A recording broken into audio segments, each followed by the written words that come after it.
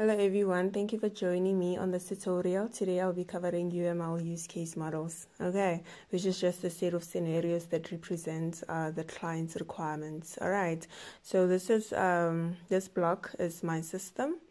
It defines my system boundaries. Okay, whatever that's inside is what the customer wants, is of high priority, and whatever that's outside is probably a change request or some additional functionalities uh, that will be phased out.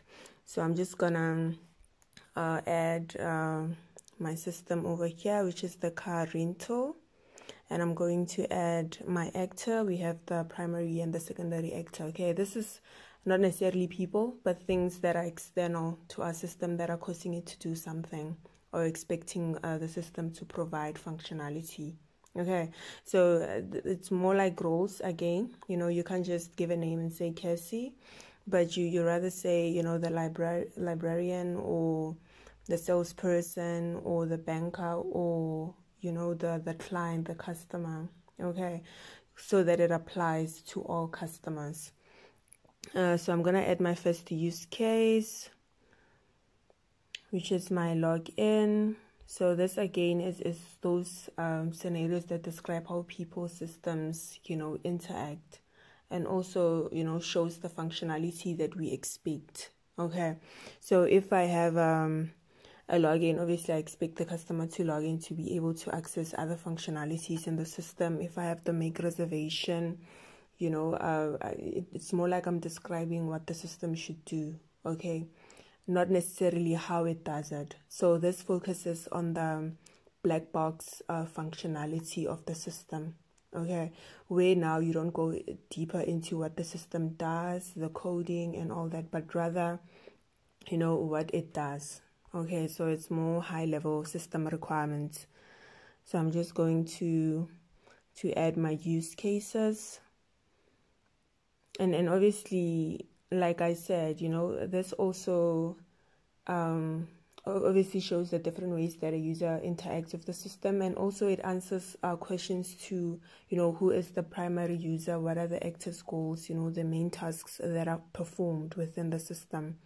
Okay so like this one the contact customer you know it's something which can be done by someone from the organization like a sales rep or or a call center agent. So i'm just going to link this actor to the context. So after the customer has interacted with the system and you know they're done and they got a receipt and everything, the sales rep can now help uh, with the payments or you know just the follow up on you know what the customer you know might need and whatnot or what the customer did not feel while they were doing that or yeah basically so i'm creating my relationship here with a solid line between the actor and the login I'm also adding a, relationship which is the include. So whenever you log in, the system or the application will verify your, your credentials, right? There's no way you're going to log in and it doesn't verify and it takes you to the make a reservation.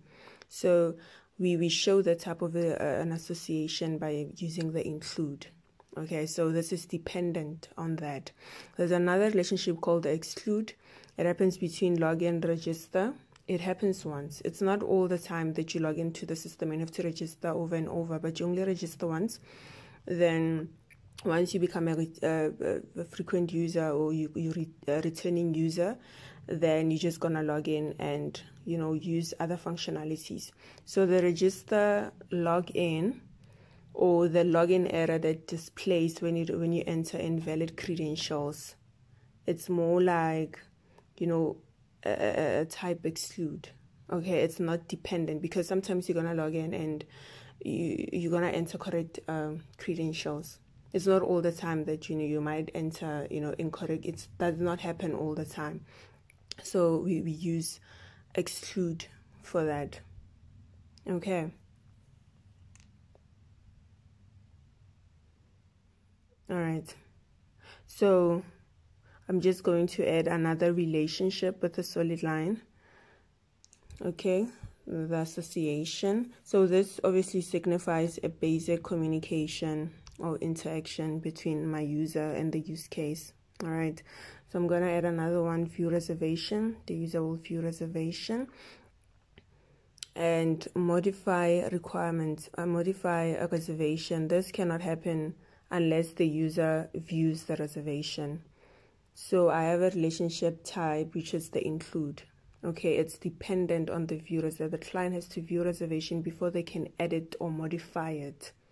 Okay, so I'm just going to add my my include and the user is going to to modify they're going to get a receipt and obviously the contact customer is is for the actor okay so basically this is you know your use case you know uh, whenever you you you know you you start working at a company and you want to understand you know what you know the system does you, you want to understand the domain it's it's very um I, I, I would advise that you go through all the the the models that they have okay whether it's your sequence diagrams uml diagrams uh, you just go through all the the, the, the system diagrams that they have and you try to understand an overview of the entire system you know from from from that uh,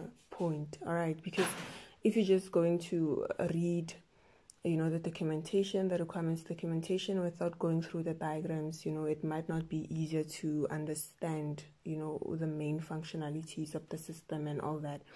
And obviously you know this does not show the little details like uh, fill up a form enter your username enter your password but it's more scenarios like uh, make reservation view reservation. It goes directly to to the functionality to the point right so this is all i have guys. Um, please like and subscribe to my videos. And yeah cheerio